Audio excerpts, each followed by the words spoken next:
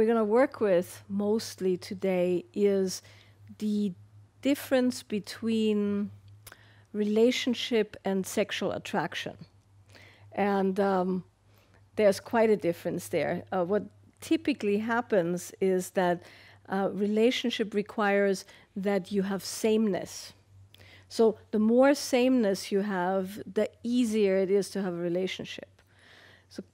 Typically you meet somebody and you start um, connecting with them and you find out all the things you have in common. Uh, you find out potentially you have common friends, common interests, uh, common religion, if that's something you know that you that you go into. Uh, you want children, you don't want children. You like certain foods, you don't like certain foods. You come closer and closer and closer together as far as sameness. So relationship is built on sameness, and the more you are um, running on parallel tracks and coming closer and closer, the better the relationship will be. The interesting thing is that the more you are the same, the less sexual attraction you have. So, um, most people, when they come to relationship counseling, they come with problems like, well, we really like each other very much, but we are no longer sexual attracted, sexually attracted to each other. And the classic relationship advice is, well, spend more time together. Um, you know, do some touching, do some uh, spending uh, quality time on a date together, which of course strengthens the relationship of the sameness, but it does absolutely nothing to the sexual attraction, because the sexual attraction is actually based on being opposite.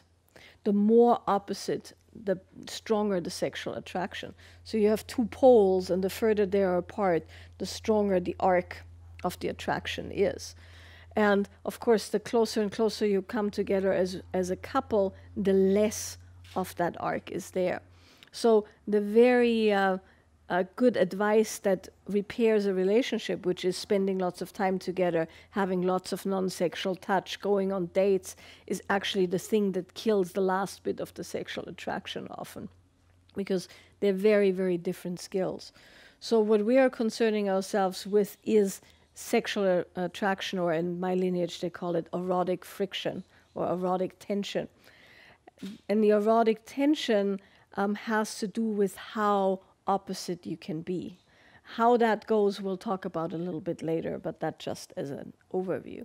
So, what we experience very often is um, people who had strong sexual attraction to begin with, because of course, when you meet each other, you don't know each other and if you don't know each other you're still very separate and it's very exciting and it's very new and then you start going on dates you have the same friends you move in together you sit on the same sofa and one day you wear the matching sweatpants and um, you watch game of thrones and it's very very loving and, and you, you're kissing and you're hugging but there isn't much sex happening because of that coming together.